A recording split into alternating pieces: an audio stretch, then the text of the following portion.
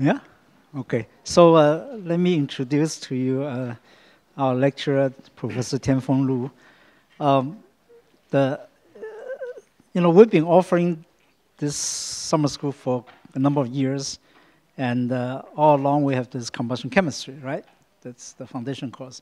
But this year, you, you notice we have sort of more, more advanced level of combustion chemistry with, uh, uh, with uh, Dr. Klippenstein and now Professor Tianfeng Lu. Uh, what he's going to say that uh, I was just thinking, you know, I always like to think in terms of history and in terms of future. Right? you, you feel starting from the 1980s and 1990s, there's all the development of reaction mechanisms, right? To, to, to, to, to take care of the chemistry in, in, in the computations. Now, then there are two major challenges in, in this. Now, I don't know, he might say more of this, but just from my own viewpoint. Uh, one is that the mechanism just gets bigger and bigger, bigger, bigger, incredibly bigger. So at a certain point, you say, well, what? There's no way. I mean, you, you, I can do it so very, okay, I can do the chemistry very accurately, whatever, but I cannot use it, right? Because the computer cannot handle it. So that's one thing. The, the, the other challenge is, is that just like any kind of CFD, you guys remember that. Any kind of CSD, CFD, you get all the data, you get the calculations coming out. How do you milk out the physics? Right? You, you get all the numbers, then what? What do you learn from it? Huh? Right? Because ultimately, there are two things. You learn something from it, you use it to, you know, to, to do some design improvements or something like that. But even to do the design improvement, you have to get the, the physics out of it. Uh, so, so what uh, Professor Tianfeng Lu has really contributed significantly to both aspects. One is, of course, develop systematic, de develop systematic ways to reduce mechanism. Right? His directed relation graph method is probably among the most, uh, most uh, advanced, uh, advanced uh, approach. Still is in, in, in, in reducing it. And then, then his uh, computational diagnostics basically get all the data. How do you get the physics out of it? Just do the calculations. So those are the, and, and the other, other, other things. Then he's a real smart guy. I can, I, I know him for a long time, so I, I can testify. so, uh, uh, uh, so well, without further ado, I'm, I'm just so very pleased to, to have him to here to, to give you guys uh, knowledge. Okay. Okay. Thank, thank you very much, Professor Long. so, so first of all, could, could you hear me well in the back? Okay, great. Uh, so before, before I, I, move on to the real stuff, uh, could you let me know how many of you were in the one hour morning lecture? Oh, most of you guys, good, good. So uh, I do have a few slides in the beginning, which is overlaps with that one. So I can do a little bit faster for the introduction part, or just talk a little bit something else, okay? So here is briefly the outline for uh, the whole talk today and tomorrow. So basically, uh, if you look at this, there are two major portions, uh, as you can see from the title. So one is on mechanism reduction. One is uh, uh, for the developed, develop, development of advanced chemistry solvers. Uh, so the, the major purpose of this, of course, is to speed up the calculation. So that's one. Secondly, if you get a smaller model, uh, it can help you to extract just clear information from simulation result. So rather than looking at the massive outlet, uh, output for, for simulation result, so you just need to look at a small data set. So it's a lot easier to work on small data set rather, rather than the huge ones today. Okay, uh, so so here are the the major methodologies I will mention. So most of this method, I will just talk briefly uh, uh, so I, I, know you guys uh, all are kind of um, maybe energy or drained a little bit approaching the end of this week. And also for afternoon lectures, probably you used half or maybe some of a major portion of your energy. So I'll keep this uh, uh, talk in the afternoon, uh, so more of philosophical, so rather than just uh, uh, giving you a lot of uh, mathematical equations, uh, just try to make it a light so you, you, can you can just focus on ideas and also the, the, the basic concepts of what we are doing. Uh, actually, through many years of research, my, my major, major uh, feeling, so I, I, gained from this research, is not, not a particular method. So it's not that, that important to just develop one or two uh, specific method, but actually what, what you can learn from this process. I find a lot of this, these topics when I work on it, uh, there are a lot of similarities or analogy you can find through how to, how to, how to uh, also how, how you can do other things, like uh, in terms of make, uh, just being a human being, and also uh, just a lot of societal issues. Actually, it, it, it bear a lot of similarities to this uh, model reduction stuff, as I will uh, show you later. Okay, so in for the advanced chemistry solver, advanced chemistry solver sounds to be a little, little bit more mathematical. So I will, I will just roughly describe what happens for the equations. And then uh, you try not to focus on, on, the, on the equation, the math itself. But try to th think of uh, uh, how to deal with new problems. Okay? Because, uh, you know, uh, we, the combustion field have been evolving for many decades, right? Uh, you know, we, we get a sometimes easy problem to solve, sometimes not that difficult problem to solve. Sometimes you get a very difficult problems, right? Uh, so particular, for some particular uh, methodologies, so people have been used, if, if it has been used in the past decades, the chances uh, the easy problems to be solved are, are already solved. So we are dealing with a more difficult problem. So to make analogy to the chemical kinetics uh, society, we are talking, talking about this activation energy. Okay, those problems has much higher energy barrier. If you want to solve these problems, uh, the chances if you use old methodology, old ways of thinking, uh, the, ch the chance to solve it is probably not that good. Okay, uh, as, as I said, the simple issues have already been being being tackled.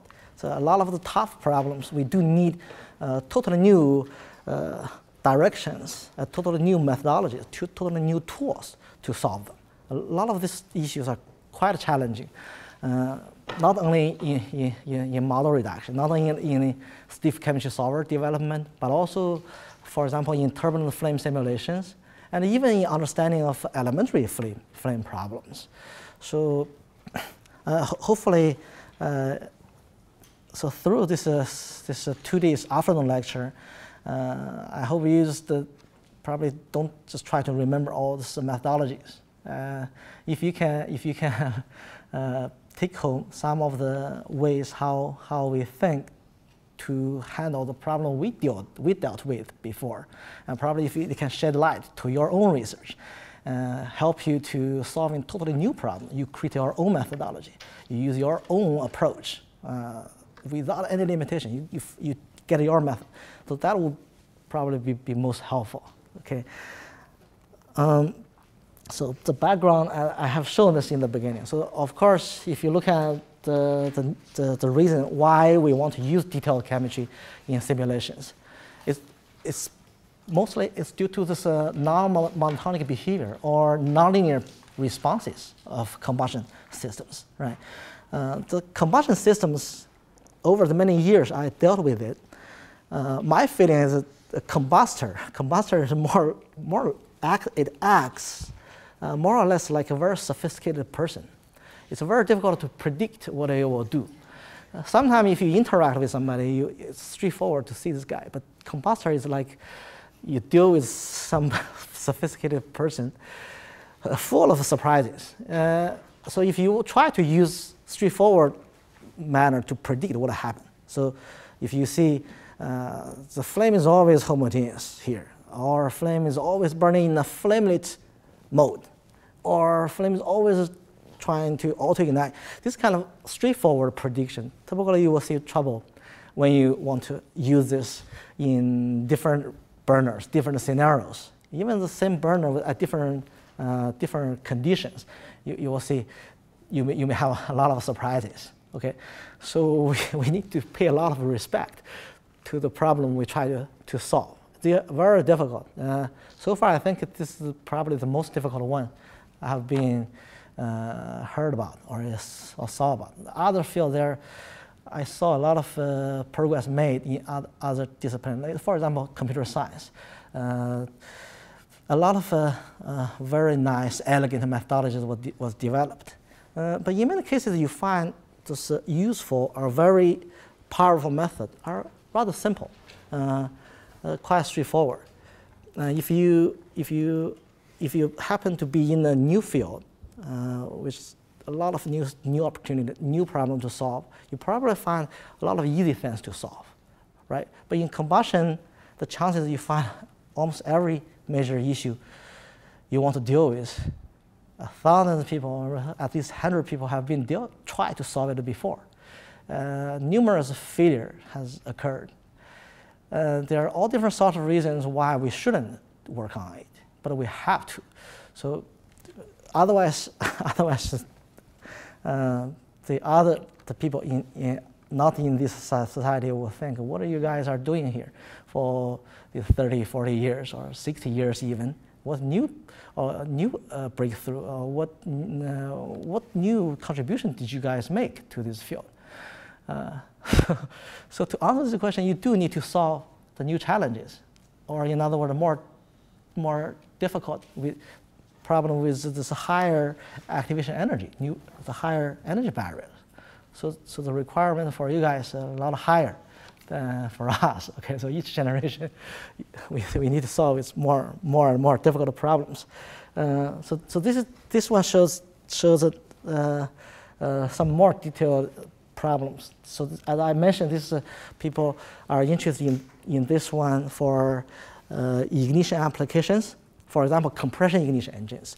If you want to put some fuel air mixture uh, to a cylinder, you want to compress, ignite it. You, want, you have to wait till auto ignition occurs because there's no, there's no flame in the beginning. Right? Um, and this, this uh, painfully long process, uh, the so-called auto ignition delay time, uh, actually it has been quite well studied. Because why? Because first of all, it takes a bit longer time than the other problems. Uh, usually the time scale for auto ignition in IC engines, it's uh, order for milliseconds, if you, if you think. So your, your car engine, your truck engine, it runs in about an order of uh, several hundred, a thousand RPM. Uh, if you convert it to combustion time, it's order of a few milliseconds, sometimes 10 milliseconds, 20 milliseconds. Okay, so it's rather slow. Uh, and, and also, uh, something interesting here is uh, I, I, introduced to you guys this S-curve behavior. For ignition, you see this S-curve, this ignition turning, the lower turning point, I didn't talk too much about this, is something you need to worry about similarly with this ignition delay time. So this one with very weak mixing, uh, this one without mixing. But the, the response here is very similar to here. For IC engine community, you, you, you will find the major challenge for model reduction or for, for using different fuels is you use different fuel in your en engine, you may see a lot of uh, surprises, something unexpected. Uh, for example, if you put a, a, wrong fuel in your car, uh, you will find you, you can possibly have a very bad knocking issue. Your car will be easily be damaged. So, so the, the IC engine is very picky in fuels. Why is that? Because IC engine, if it depends on the ignition property, ignition is somewhere here. If you look at different fuels, hydrogen, of course, we don't directly burn it. But as a reference, if you have a small molecule like propane, similar methane, ethane, a small molecule has similar behavior. Without, without so-called low temperature chemistry, it ignites very difficultly at low temperatures. It takes very long time. So you don't burn methane directly through compression ignition typically, okay? Uh, but you, you, do large hydrocarbons. So what happens for large hydrocarbons, it, it has so-called NTC behavior. Uh, that means if you get a lower temperature, it may ignite even faster. So that makes uh, ignition at a low temperature possible uh, at, at, normal engine running conditions. Within a millisecond, 10 millisecond, ignition is possible. Even temperature is only 850, 900 Kelvin, okay? So to translate to here, for large hydrocarbons, you will see some kind of behavior like this um, the residence time can be close to order of a millisecond if you want to look at it. But the problem is if you try a different field, you, you will see the curve are very different. So, so uh, for normal alkanes, cycloalkane, uh, yeah, so, so you will see the ignition curve, this kind of behavior, or, or this guy, it smears everywhere here. So basically, if you change different fuel, your ignition delay time, your timing is totally messed up. So it's very difficult to work on different fuels with IC engines. The, as you heard, if you want to add ethanol to gasoline, you can add too much to it. Uh, you have ethanol is, has quite a, quite a comparable property to, to gasoline already. It's still difficult to handle a lot uh, if you, you add like I see more than 50% ethanol to it. So the, uh, right now the pra practice is you add less than 10% ethanol to it. So try to dis disturb the, the fuel property as small as possible. but if you put some other fuel. For example, if, if you put uh, some kind of jet fuel to it, you know, there are all different sorts of jet fuel or, or different diesel fuels. If you happen to put those fuels to your car, you will see terrible responses uh, because the different molecular structure, different molecular size will give you totally different response in terms of ignition behaviors. Uh, or in other words, ignition properties or auto-ignition properties are very sensitive to fuel types. Uh, that's probably why in IC engine the people pay most of the attention to ignition delay time, because timing is probably the number one issue to worry about if you design an engine. The car engine you want to make timing right, so explosion or auto, uh, knocking won't happen within the cycle. Okay, uh, for diesel engine, of course, it's a little bit fine. It's non-premixed burning, uh, but then you need to worry about this uh, residence time issue to minimize emissions, NOx emissions, soot emissions. Uh, for HCCI type, you know, on HCCI engines, it's premixed. If you try to compress ignite it, you get a whole lot of trouble. How to control the simultaneous ignition or very rapid heat release. That can damage the engine, give you very bad knocking. Okay, sometimes it even give you detonation wave, just quickly to destroy the whole the whole thing. Uh, so therefore, it's a whole lot of trouble to try to design combustor in this area. Uh, that's pretty much is tied, this challenge is tied to how IC engine works. Okay? Uh, but if you look at the upper, upper uh, turning, the upper turning point, if you compare hydrogen, hydrogen, uh, the most prominent observation you can see from here uh, with hydrocarbons, large hydrocarbons, small hydrocarbons, you can see hydrogen uh, is much more difficult to extinguish. The extinction residence time is almost two orders of magnitude shorter than hydrocarbon fuels, whether it's small or large hydrocarbon fuels. So, so pretty much practically it's not feasible if you want to quench a hydrogen flame. Hydrogen flame, is, if you ignite it, it's always there, uh, propagating. So you can probably wrinkle the flame very badly, but it's very difficult to, to quench it locally or to poke a hole to the hydrogen flame. But hydrocarbon flame burns much weaker because uh, hydrocarbon, and, and also if you look at different fuels, you know, you get a iso alkanes, you get a normal alkanes, or even so large molecule propane, uh, uh, small molecule propane versus large molecule biodiesel. You put all these different fuels together. If you look at what happens here, they all collapse to this curve. So that means the extinction behavior is not that sensitive to fuel type. So in terms of chemistry, you don't see a lot of different response in terms of this fast burning limit uh, with respect to fuel type. So that's why if you design a jet engine, if you are, if you are a gas turbine engineer, a jet engine designer, you probably see less trouble in terms of kinetics to burn different fuels in your combustor. That means the chance you throw in a new fuel to your combustor, it typically can run just as is. You, you can just drop in the fuel you have a lot of more uh, choices than what you can do with in, compared with IC engines. Uh, so, so, so therefore, this simplifies the combustor design a lot. But you still have something to worry about that is probably more, more physical like. If you have physical properties, for example, viscosity, boiling point, if those physical properties are, are very different, you, you can still have, have difficulties in, in terms of uh, atomizing the fuel. The spray will totally different, right? Drop size and spray vaporization will be different. So you, you, you have some issues associated with the physical properties. But the chances you will see less fuel sensitivity uh, in terms of high temperature combustion. And high temperature combustion, and also it burns very fast, very fast. As we said, if you bypass the radical explosion stage, uh, the time scale for this fast burning is typically in, in range from microseconds to 10 microseconds. Sometimes in lean blood, it goes 100 uh, microsecond or, or, maybe even millisecond. So it's a sub-millisecond to microsecond level, uh, typically by order of magnitude faster compared with ignition turning. Okay. This guy is two, three order of magnitude faster than this turning uh, easily okay, for, for most hydrocarbon fuels. Uh, so, so therefore, uh, we do have a lot of different problems to worry about uh, for model reduction. Uh, if you want to get a reduced model for IC engine, uh, you probably want, want to make auto ignition delay time the number one target parameter to, to be correct right, in your reduced model. So that, that means if you want to use your reduced model in uh, diesel flame simulation or HCCI simulation, if you mess up ignition delay time, the game is over. That, that's it. Uh, but that doesn't, tell you uh, ignition delay time is the only thing relevant in IC engines. For example, take take example for, for diesel flame. Diesel flame after the, the ignition spot, uh, eventually you will have a strong flame, lifted flame established there, right? And these are strongly burning flames. Flame propagation determines the lift-off location. And also the trident processes, what happens there, it determines the emissions, soot emission, NOx emission. If you want to predict emissions from those IC engines, uh, it's, it's, it's almost always not a, sufficient if you only deal with ignition delay time in model reduction. Okay.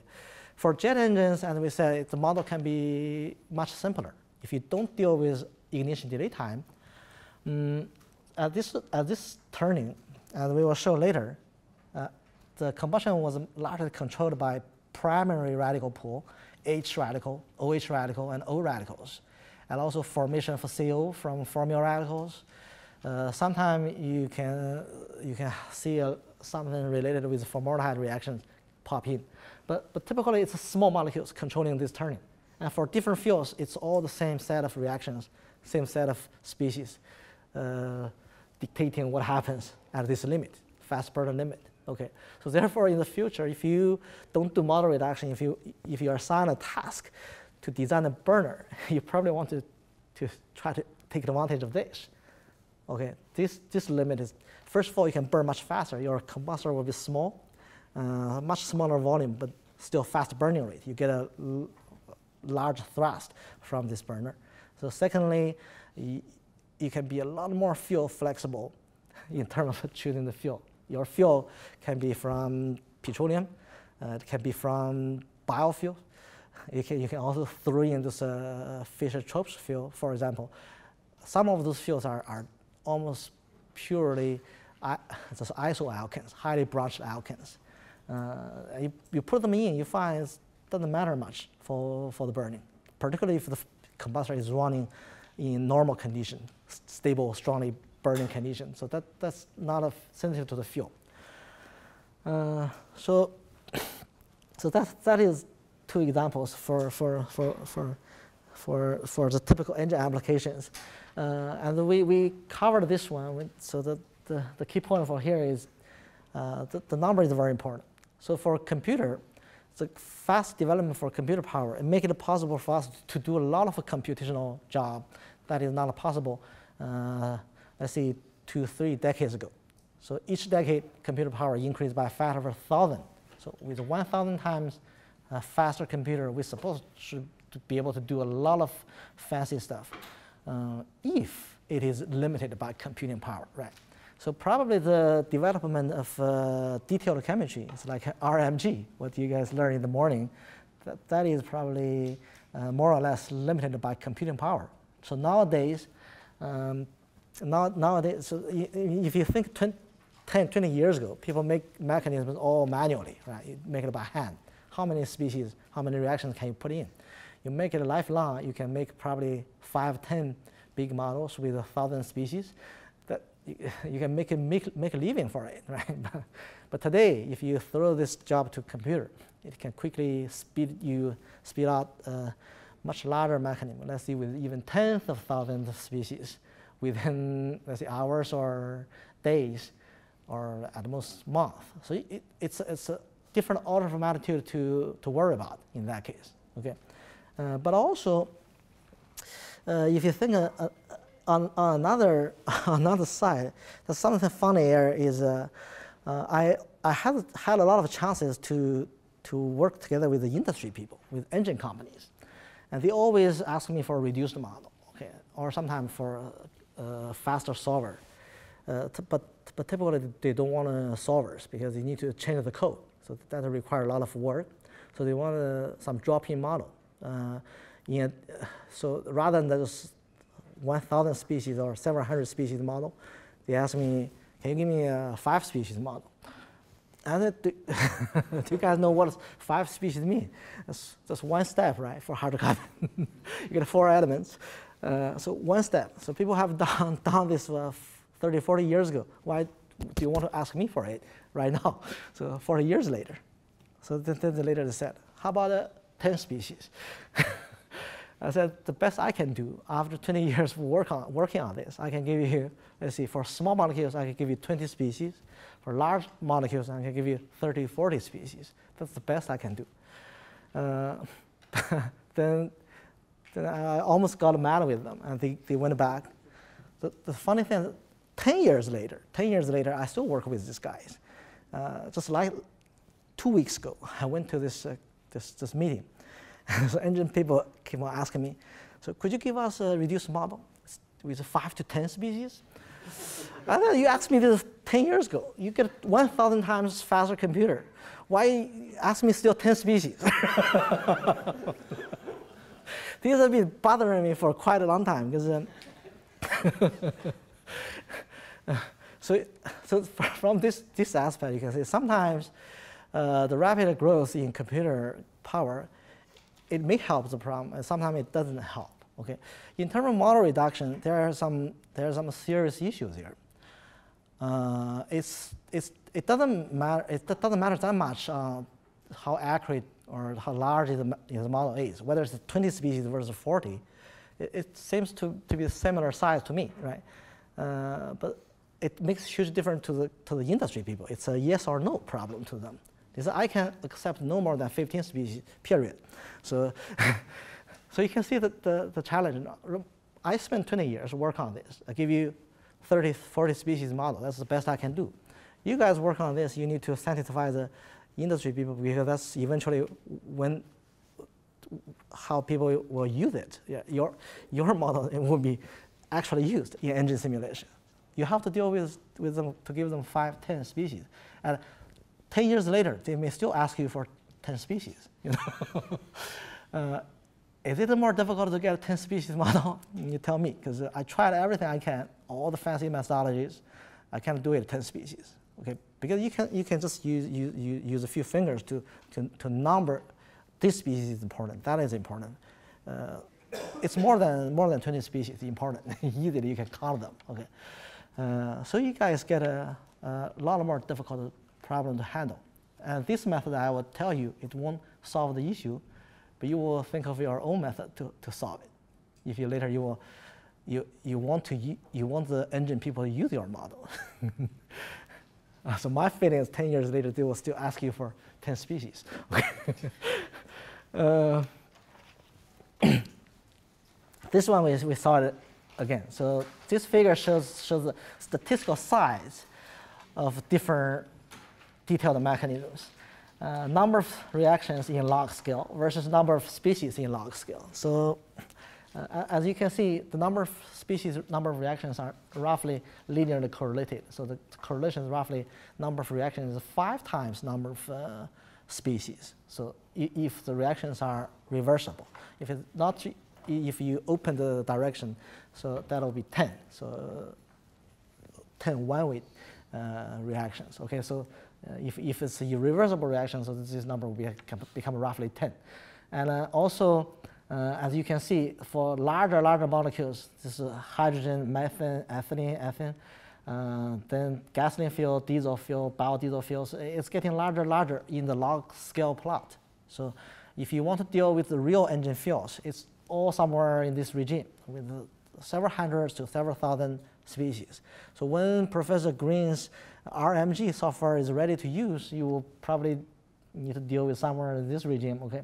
Um, so with, with 10,000 species or maybe 100,000 species, if that's the case, you will have some serious trouble to, to run any even zero-D simulations. Uh, if you want to compute auto ignition delay time, anybody compute ignition delay time with this guy with 8,000 species? So how much time it roughly take, takes you to get one case done with a second, let's see. A few, a few minutes, or oh, you are using a very good solver. this, this, this one takes me a day or two to get a single solution. So you, you can get a few minutes for these guys. If you get a 1,000 species uh, or a few hundred, few hundred species, that is about order of minutes. But the CHEMKIN 2 solvers, if you, if you do the timing, you will find the cost in this, in this uh, limit, la large limit number of species. The cost is a cubic function of number of species. So that means if the size of the model increased by a factor of 10, it's 1,000 times more consuming. So I, I was put on some simple equation to show why it scales like n cube in large limit. It's pretty much depend on the Jacobian matrix. Okay. So, so obviously we see a lot of need to do the model reduction uh, in this in, in, in for these fields for these practical fields. So. Uh, so so next then let's look into it to see how to do a model reduction. So be, before we can come up with a concrete solution, we do need to look at the problem to see where where the challenges are are right. So what is uh, most difficult or what, is, what issues need to be addressed for the reduction part. So if you look at uh, uh, whatever flame simulation, uh, let's see a reactive diffusive system uh, or with convection terms, uh, in turbulence or in laminar situation. So you can always write down the governing equation like this, right? So if you follow a fluid element, so this is a material derivative uh, of uh, vector of uh, dependent variables, let's say temperature, pressure, species concentrations. this, this state variable change uh, can be uh, attributed to chemical reaction source term, of course. I just use omega to denote chemical rea reaction source term. And also diffusion term. Different scalars will have different diffusivity, but if you put in, you will get a, the, the diffusion term. Uh, this, this guy is so-called convection term. The convection term sometimes you put together with diffusion term, people call it mixing term. Uh, so chemistry mixing, that's two major portions people are handling in CFD simulations. Mm, so to solve this, to solve this equation for a multidimensional flow, the first step, of course, to do numerical discretization. Uh, you, you, uh, you know, you use, for example, finite difference method to divide this, the domain to many grid points, right? You all know this finite difference method. So it's developed several hundred years ago, the concept, uh, much earlier than we have a computer. So, but to seriously use finite difference in this extreme scale flame simulations, it's just uh, become serious in the recent 10, 20 years. Okay, uh, we can deal with really 3D simulations with, with with, with, with billions of grid points, for example, to get the, the required accuracy to, to resolve the field. Uh, let's see, suppose you get a mesh grid already there, and then, so the equation will discretize onto those different uh, grid points. So and the equation then become from partial differential equation to an ordinary differential, differential equation. You get a, rather than a set of ODEs to solve, we are solving a big set of PD, uh, rather than solving a, uh, a, set of PDEs, you are solving a, a, large set of ODEs, right? Ordinary differential equation. Everything is just a function of time because time is, is dy dt. Uh, so everything else goes to the right hand side after discretization. Okay, uh, and then if you want if you want to solve this problem, uh, you find all the all the variables on all the grid points are somewhat coupled Uh, if you want to get a solution on this grid point, you need to know the neighbors because they are all coupled together. So how do you solve this issue? Uh, it turned out that you have to solve the entire field all simultaneously together, all together. Uh, to solve this all together is very challenging because you get two options. Okay, uh, if you have been working on ODE solvers before, one way is to solve the problem use so-called explicit scheme. You know, the other way is called, called implicit scheme. I guess you all know the difference between the two, right? Explicit scheme is to do the rate evaluation based on the current or available solution. So the current step, you know the concentrations, you know temperature, whatever, and you put it in, you know the reaction rate, and then multiply delta t, you know what happens at next time step. So the solution is marched step by step, explicit. You don't need to do iterations, whatever. Uh, but for stiff issues, for stiff issues, uh, it, it's very tricky to use explicit solvers for reacting flows. Uh, stiffness means you get something very fast, but other processes are much slower. If you want to take care of all of them, uh, the time step you need to take was limited by the fast guys. In chemical reaction system, the fast time scales, you know, how, how fast it can be in your experience. Uh, second, right? Yeah. Yeah. So what's the guy giving this short time scale? For example, what, what species typically can give you such kind of uh, short time scale? H, yeah, the, uh, the primary radical, primary radicals like H, OA, H has rather, H has rather long time scale. H, H, the reaction time scale for H is, let's see, microseconds or sub-microseconds. Uh, OH is a lot faster. OH and O is a lot faster. It's, it's more reactive, okay?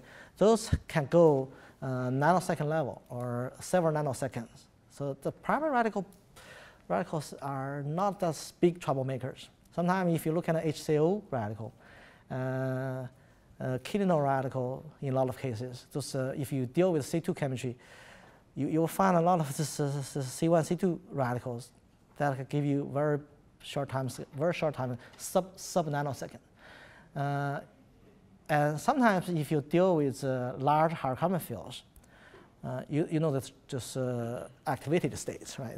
We just covered this in the morning lecture. activated states, uh, it can quickly, you know, you get a one electron here, it can jump here and there. The radical position can, can, can jump around. Uh, you get isomers, which can, can have terribly short time scale to, to do the isomerization. So sometimes if you deal with uh, Lawrence Livermore's, 3,000 species mechanism, you find time scale very short, unphysically short even. Uh, in some cases, you find the time even shorter than femtosecond. It, it, it's, just, it's just too short. There's no, no such possibility that you can use femtosecond to do your time integration for flames, right?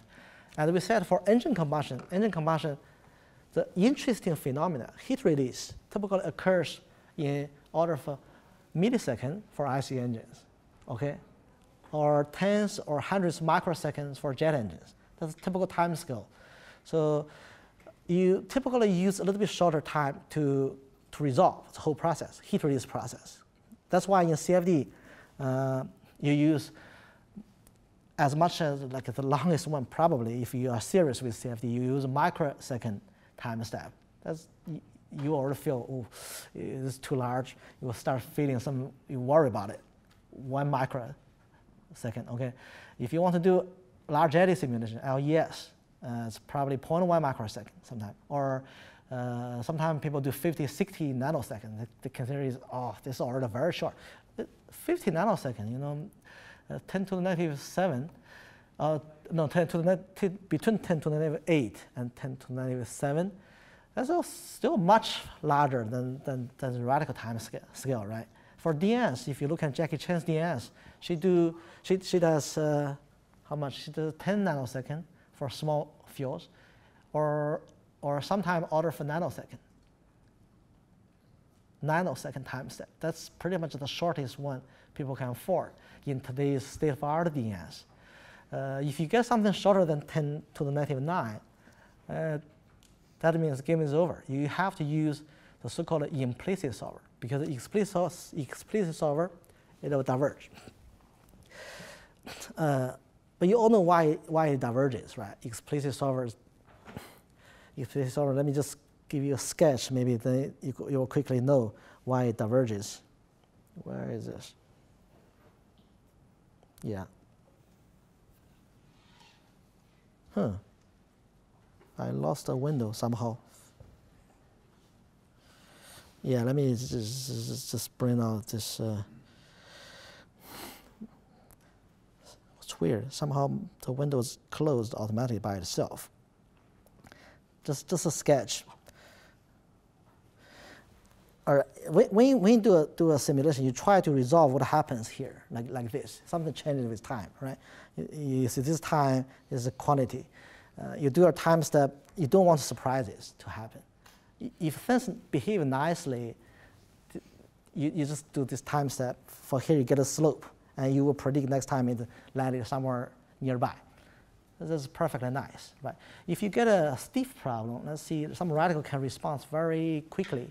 That means uh, if you get a little bit error here, this guy will try to jump down quickly to the trajectory and then follow this guy. So I will talk about this, this later. So you, let me just blow up a little bit, okay? So suppose you, you have a trajectory jump, jumping down within a very short period, okay? Uh, if, if you use the current, current rate to evaluate this, you will get a slope like this. This is your slope, right? With this type, delta time, if you next time you will end up with somewhere here. All right. Uh, and then if you say this, this, this radical concentration is already much, much worsely predicted, so it try to jump back to this location quickly, right? And then you get a slope like this. And the next, next time step, it just goes nowhere. So after a few time steps, it just diverges exponentially.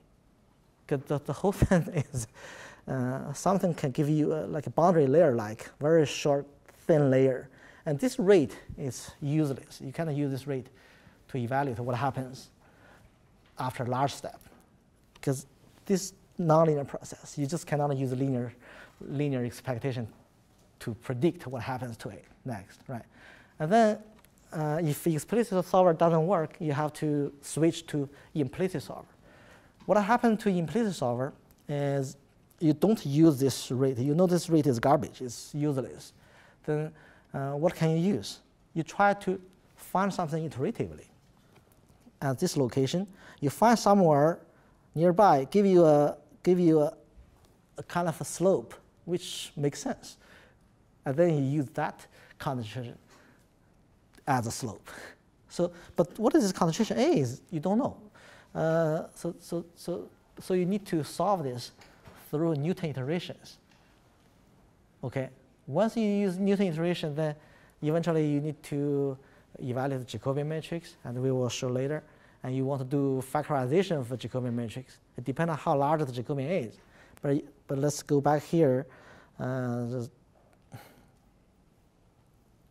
let's, let's go back here. Uh, if you get a, if you, if you, if you, because hmm? uh, I guess this new toy, a lot of unexpected behavior. because they have very small board here to write on. I get this fancy Surface Pen to write on this. But a lot of operations kind of surprising to me. Uh, just bear with me, okay? Uh, if, if, you, if you want to solve the whole flow, flow field together with the implicit solver, that's pretty much a lot of people have to do. Uh, you need to solve all the variables, uh, all the grid points simultaneously. You imagine how many variables you need to deal with. Suppose you get a million grid points in a, in a moderate case, million grid point. Each grid point you get 30 variables. So that will give you 30 million variables, right? So can you do a Gaussian elimination for 30 million by 30 million matrix? There's not, no such possibility you can do it. There's no way you can do it. So, so, so, the only thing you can do, either you, you, you, you only narrow down to a 1D problem. You only solve 1D problem to deal with the band, narrow band matrix. Uh, several hundred grid points, that's pretty much what you can do. Several hundred grid points uh, and a, a tridiagonal uh, or, or, or a few diagonal uh, matrix, that's all, okay? But for truly 3D simulation, there's no such a possibility you can solve the full system just through Newton iteration. Uh, then what can you do? What can you do? You have to think of something else. Okay, so a lot of people, uh, a lot of people, the, the, they are using so-called the, the, the, the so-called uh, splitting scheme. Have you guys heard about splitting schemes? Yeah. yeah. Uh, if you if you do CFD simulation, the chances you are using splitting schemes. Uh, so what a splitting scheme is? Splitting scheme is, you know, you get a coupled you get a coupled system with reaction source term with mixing term. And you, you can't afford solving all of them together fully implicitly. Then how about we make something different? We make some, some two artificial systems. One is a reacting system without mixing. The other with, uh, uh, with, uh, with mixing only, without reaction. So you do one step mixing problem. You do one step chemistry problem. You put the solution together, you, you hope you will get the, the, the right answer, right? Just to make analogies, like uh, if I collect money from two guys, so you give me five dollars, you give me five dollars, I can collect five dollars from you first, and then another five dollars from you guys, from you. Okay, put together I get ten dollars. It sounds perfect, right? It sounds perfect easy. So if it's such an easy problem, I will tell you combustion will not be difficult at all. So as I said, combustion, the flames are very sophisticated. You, it's full of nonlinear, surprising responses. The, the, trouble here is this guy paid me five dollars, and he looking at how much he paid. He changed his mind. You know, that's why you cannot separate these two processes. So sometimes, sometimes you find this splitting scheme works, and sometimes you find it doesn't work at all. You can get a totally wrong answer with splitting. Uh, so, so it's, it's, it's, it's very tricky uh, how to solve a multidimensional problem accurately. And eventually, if you want to make it universally valid, the answer is you cannot do splitting. So that's, that's something bad to say. Okay? bad news for some of you guys if you are using splitting. I can show you when you almost always certainly get a wrong answer by using splitting. Sometimes you can get right solution. Sometimes you can almost always get wrong solutions for some problems. Uh, and then we have to develop new solvers. That's, that's why we, we, I want to sh show you some of the work we did for the second part, solver development. Uh, but to, to, to look at that one, we need to look at this some more detailed procedure, how to solve this uh, stiff chemistry problem uh, if you're looking at something like this. If you're looking at something like that, let's, let's see, G, suppose in simple case, G is only chemical source term chemical source term is stiff enough, okay? Uh, because rate controlling reactions, like heat release, formation of CO is slow. So by the way, you know, formation of CO, formation of CO2 give you major heat release and also formation of water, okay? Uh, so you have to capture or resolve the heat release. And that's pretty much uh, almost everything people are interested in in some engine designs. If, if you're not talking, talking about emission, if you can capture heat release correctly, that's fine. Uh, so your time scale will, will, will, need to resolve the heat release rate. As I said, for CO formation, CO formation, it can be very fast. CO formation can happen within order of uh, 10 microsecond, 100 microsecond. CO2 formation is slow. CO2 formation takes milliseconds to complete.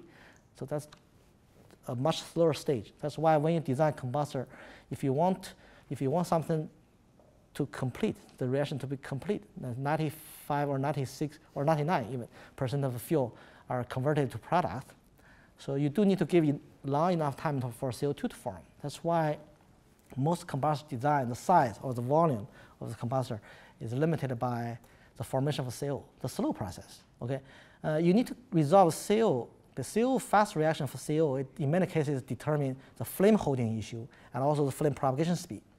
Uh, so because the fast chemistry of CO formation, it does have a lot of to do with the, the transient behaviors for, for the flame zones, reaction zones. Mm, by the way, CO combination to CO2 happens in many cases, it's in the post-reaction zone, recombination zones. A lot of cases in that case. Okay. Uh, so, uh, so this time step for integration, therefore we're talking about this, this integration time step. Let's, let's see. Uh, 0.1 microsecond. That's typical. Okay. We will use a lot of uh, time step of 0.1 microsecond in, in the following. Uh, and then you get a lot of time scale, which is nanosecond, 0.1 nanosecond, or even picoseconds. If you use Lawrence Livermore mechanism, you get a femtosecond time scale there. Uh, so you have to deal with this implicitly. How to do it? So this rate ha has to be evaluated in the future. So future concentration somehow give you a reasonable slope. So this G give you a reasonable slope. Okay, if you solve this equation, uh, this equation is numerically stable, and accuracy is similar to the forward differentiation.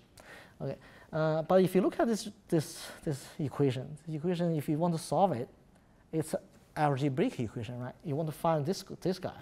If you put everything to the right hand side, so you can call this function of the future solution. So this is unknown. You want to find function of uh, y to be zero. You find the root of this guy. So solving stiff problem is, is boils down to solving algebraic equations. Similarly, if you want to solve a steady state flame, steady state combustion problem, you also need to deal with Newton solver. It's a similar problem, f, f, fy equal to zero. Okay, so stiff problem, uh, steady state combustion, this is, this is the problem you solve. Uh, almost always, if you want, want to solve chemistry reacting flows, you have to use Newton solvers. The Newton solver basically is, is, is first order Taylor uh, expansion uh, for the nonlinear function around the solution. Okay, you just do Taylor expansion. This is partial y, partial f, partial y. Uh, this guy is something very, very important. And we call this, what do you guys call this? The Jacobian matrix, right? The Jacobian matrix probably is, is relevant to 80% uh, of the problems in computational, in computational uh, simulations for combustion problem.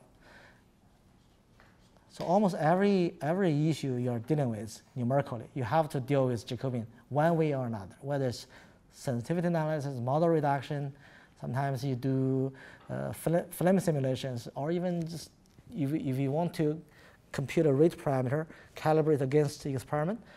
You want to compute some auto-ignition problems. You also, all we, more uh, directly or indirectly, you need to deal with Jacobian matrix. Okay, this is something super important. Uh, in, in, addition to its importance in numerical solution, it also carries a lot of uh, important physical information. If you want to understand what happens locally, uh, actually, all the important information locally about the system is embedded in this matrix, this Jacobian matrix. So, so therefore, we cannot emphasize less how important this guy is uh, in, in combustion, in computational combustion problems. All right, you will see later, well, Jacobian appears everywhere almost in the following for different purposes. Okay, uh, but for this purpose, we want to solve, we want to, we want to, we want to solve a linear problem, right? uh, this Jacobian is here. If you want to solve this guy, you need to inverse it. Uh, it's something like y, and it, it, if you put this to the other side, it's g inverse of Jacobian. So, but inverse of Jacobian, you can do it in many ways. Uh, so most, in most cases, people do Gaussian elimination or so-called LU factorization. So that's how you can do it. So basically, uh, the Jacobian is factorized to upper trigonal and, uh, matrix multiplied by lower triangle uh, uh, matrix. So you can, you can do the solution, if you store the Jacobian or the factorized uh, matrix, you can quickly solve whatever new source terms come into this problem. So Jacobian, therefore, you can reuse it in many cases. Okay, so in numerical solutions, a lot of cases, Jacobian, uh, because it's very difficult to compute, very difficult to factorize, very time consuming. Sometimes if you take the time to decompose it. You want to store it and use it for as many times as possible. So, so re reuse it.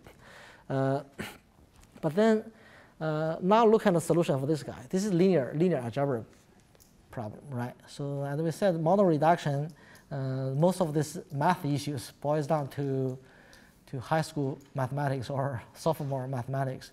So it's, it's a, a sophomore, sophomore algebra uh, linear algebra and also uh, calculus. That's two major things we use here. So don't, don't be scared if you see equations here. Okay. Uh, to solve this equation, let's see how much time it takes for each operation. Uh, you need to evaluate this F term. That's reaction rate. Okay. Or you need to evaluate Jacobian. How do you need evaluate Jacobian? Or how fast it takes to factorize Jacobian? So let's look at the cost one by one. Uh, here is a is a, is a, is a, a chart that basically shows roughly how much time it takes uh, for each component in the simulation. So we do need to look at these numbers to get some rough idea who you want to pay attention to. Uh, if you want to spend your uh, two years time, which term you want to handle. Okay, uh, you want to handle the most time-consuming part. So for example, so first of all, you need to compute the reaction rates, right? You need, in, in solving the thing, the right-hand side, uh, omega, the reaction rate you always need to compute. How do you compute the reaction rate? You, if you have the concentrations, for each reaction, you put in the Arrhenius formulation, it gives you the reaction rate. So that's straightforward. So how much time it takes? It's uh, proportional to how many reactions you have. Each reaction is, you can consider it takes constant time to evaluate. Right, so therefore, evaluation of rates is straightforward. It's, it's, it, it's linearly proportional to number of reactions. And also, remember, number of reactions is, proper, is, is a linear function of uh, number of species in the st statistical plot. So therefore, you can also see the rate evaluation is linearly proportional to number of species in the mechanisms. So as long as you get a linear function, that's not a big deal, okay? You get a 10 times larger model, you spend 10 times more on it, that's it. Not too bad. Uh, what if you are dealing with uh, implicit solver? Implicit solver, you need to evaluate Jacobian, compute Jacobian locally. Then here comes the question, how do you compute? How do you compute Jacobian? So have you been computing Jacobian by yourself before? Yeah, two major methodology. One is use is to use num numerical perturbation. As we said, Jacobian. Let's let's go back a little bit.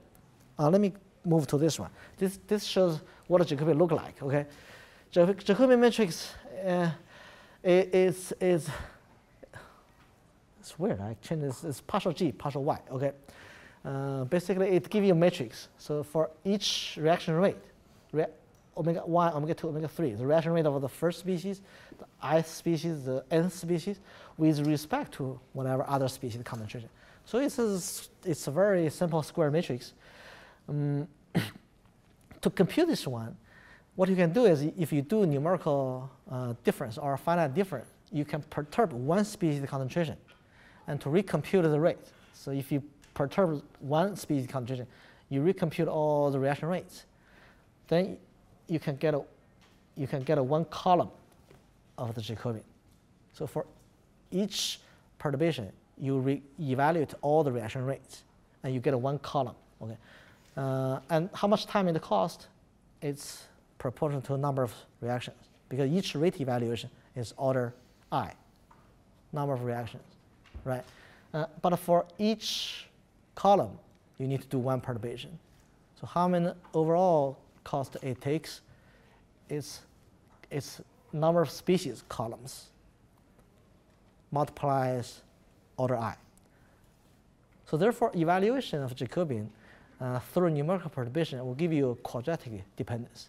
So it's proportional to number of species squared. It's a quadratic function. Uh, it's very time consuming. If, if you use CHEMKIN 2 for, for almost all the, the, the mechanism you're dealing with, the chances, the calculation of the Jacobian through numerical perturbation is the most time consuming part in the simulation. And you, you click sync wait for auto ignition delay time or, or ignition curve from sync For 3,000 species, they give you two hours. So the reason is due to the calculation of the Jacobian. You are waiting for the Jacobian to be computed. That, that's what they are doing. Okay. Suppose you get 10,000 species. The, majority of time is spent is just to wait for this guy. Numerical perturbation. This is so boring. Can we do this better? Of course, we can do this better. So the how to do this better is, is not to use numerical differentiation, but we can use analytical derivatives. You know, each reaction rate is a function of y, and the format is given, right? So each reaction rate, you have a fixed format. It's, so if you look at any reaction, A plus B go to C plus D. It involves that's four species, That's it. And the reaction rate, if you, it's only partial omega, partial A, partial omega, partial B, partial omega, partial C, partial D. You get four different entries. That's all. Uh, you can get this number through analytical der derivation. You can derive the solution, and then you can use the derived formula to evaluate what happens there. Okay. So if you can, uh, so later I, I will show you some more detailed formula about analytic evaluation of Jacobian. But you, but it's, it's rather straightforward. You, what you do is just uh, you analytically differentiate, analytically differentiate uh, every individual reaction. So each reaction will give you, let's see, uh, four or five entries in the Jacobian. Okay, partial omega, partial A, B. For different reactions, you get different species involved. But each, spe each reaction only couple a few species. So you put I reactions all together. So the total evaluation you need to do is typically linearly proportional to number of reactions.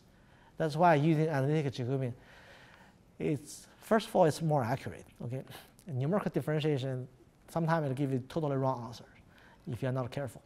Uh, and more importantly, it's a lot faster. So rather than just n squared, it gives you linear function. So, so therefore, if you are running 10,000 species model, don't run with CHEMKIN 2 thinking solver as is. Spend some time to write your own Jacobian solver or, or ask, ask somebody to generate analytics Jacobian for you. You put it in, uh, you can find a solution faster than just, just click the button to wait for it. Okay, so for large mechanism, keep in mind, use analytic Jacobian. Don't use numerical perturbation. That's number one trick to save the simulation time. It's particularly important for, for you guys making detailed chemistry because when you make detailed chemistry, you, you need to do this iteration, uh, you need to do this autoignition delay time simulation again and again, right? Uh, iteratively. So if you if you get this RMG, large mechanisms, uh, those zero, zero D simulation, it will become the rate rate limiting time step if you use numerical Jacobian. So very simple trick to use analytic Jacobian will, will reduce the time to linear. Okay. And then you look at other other components. Uh, we are running out of time. Uh, how, how about let's take a break and come back. So 15 minutes break. Let's, let's come back and then talk about the other components. Okay.